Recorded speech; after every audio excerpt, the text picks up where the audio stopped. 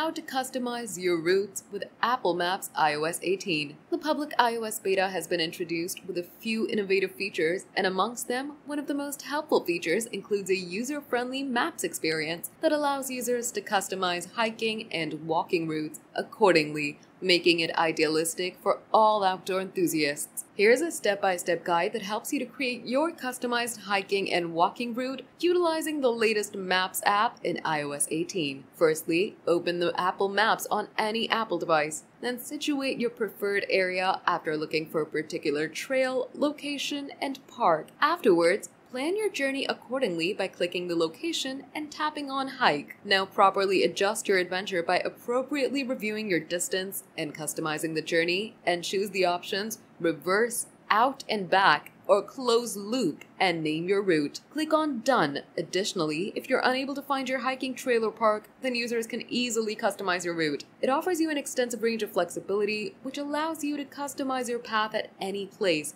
whether it's a short hiking trail or long. Here's how to customize your route. Firstly, launch the Apple Maps and click on the profile icon, then go to the library. Once you're inside the library, click Routes. It includes the following options Places, Guides, and Pinned. Then select Create and open the map to adjust the initiating point. Then click on additional locations to customize your route. Moreover, you can easily add unlimited stops. You'll also receive an option to refine the basic route. Then click on reverse to flip the direction, out and back, and close loop to connect the starting and ending points. Once you've plotted the journey, click on save and go to immediately start the action.